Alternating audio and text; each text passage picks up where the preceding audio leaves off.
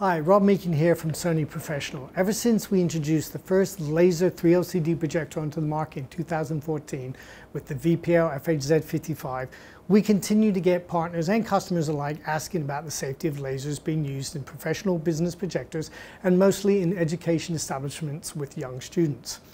All Sony laser projectors, including our very new high brightness model, the VPL FHZ120 and the VPL FHZ90, with high brightness of 9,000 lumens and 12,000 lumens, have a classification of Class 1 under the International Electrotechnical Commission. IEC 60825-1 Edition 3 in the EU market.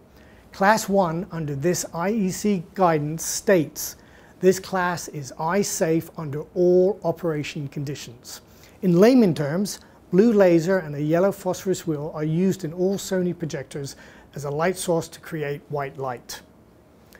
This light is then directed into the 3LCD optical engine and split into RGB, red, green and blue, primary colors, hence the term 3LCD or three panels, and then producing with 100% color accuracy an image on screen Ultimately, the light as it exits the projector has been diffused. It is not a direct light source, therefore under the classification from the IEC governing body is eye safe under all operating conditions. These two models here, the VPL FHZ90 and the VPL FHZ120, with the same laser classifications, are designed with larger conference halls, university auditoriums, or public multi-screen applications in mind.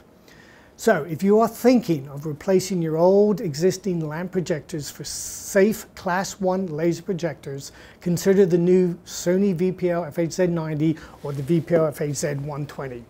Very bright, very safe, with best-in-class color accuracy and color uniformity. Book a demo today by going to pro.sony.